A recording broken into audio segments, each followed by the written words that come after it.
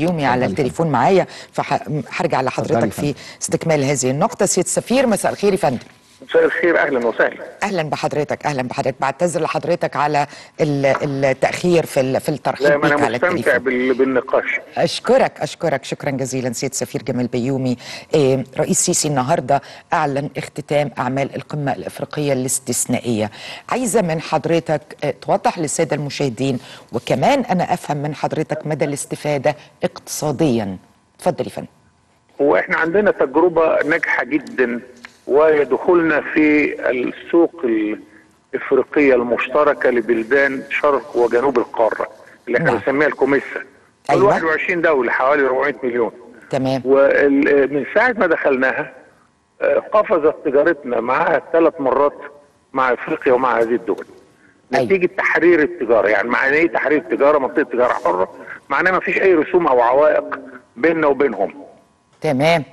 فبالتالي لما نجحت التجربة انظر حولك وجدنا إن في تجمعين آخرين أيوة. في الغرب وفي الجنوب آه، للتجمعات الإفريقية نعم. وشغالة برضو بنفس القدر من النجاح مم. في قمة شرم الشيخ اللي حصلت من كام شهر ورئاسها الرئيس برضو نعم آه، فكرنا ليه ما ندمجش الثلاث تجمعات في تجمع واحد آه. بدل كل تجمع 20 دولة يبقى عندي ثلاث تجمعات في تجمع واحد 51 دولة تمام. دول 1200 مليون ده هيبقى أكبر آه، منطقة تجارة حرة تعدادا وفي عدد ال- الدول. أيوة. يعني الاتحاد الأوروبي 28 دولة إحنا هنبقى نعم. 51 نعم. الاتحاد الأوروبي 500 مليون إحنا 1200 بس نعم. طبعا إحنا مش بالغنى بتاع الاتحاد الأوروبي. أيوه. على أي حاجة أيوه. فالتجربة الناجحة دي هنضربها في ثلاثة. أيوه.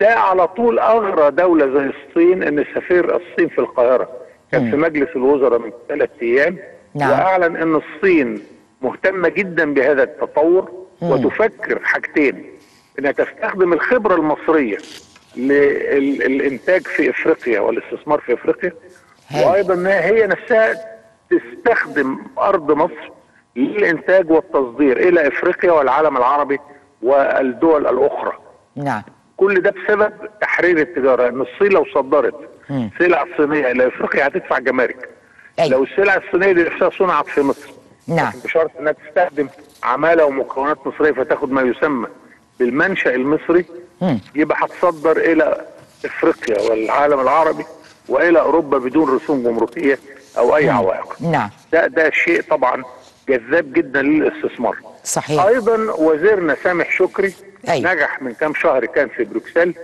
وأقنع الأوروبيين ان نعمل استثمارات مصرية في إفريقيا بتمويل الاتحاد الأوروبي.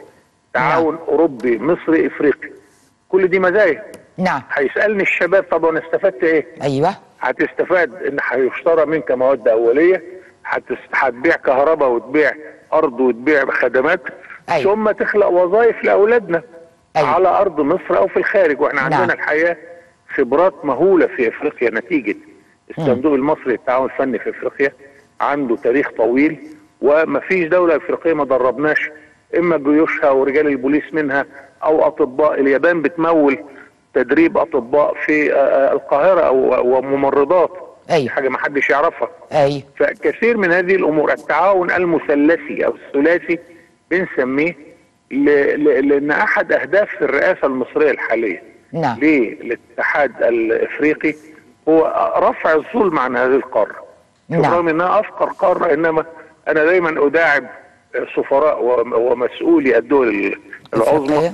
وبقول إن تقول لهم إيه وبقول إن إفريقيا الأموال اللي خارجة منها إلى أوروبا وأمريكا واليابان أكثر من الأموال اللي داخله لها أيوة. لأنها بتدفع ديون وبتدفع تكلفة الاستيراد بينما صادراتها ما تغطيش هذا وذاك أيوه فاللي اللي اللي اللي يعني يعدل هذه المعادلة الظالمة. هو مزيد من الاستثمارات آه الأوروبية اليابانية الإفريقية ال- ال- ال- الصينية النهارده بقول الصين أيضا.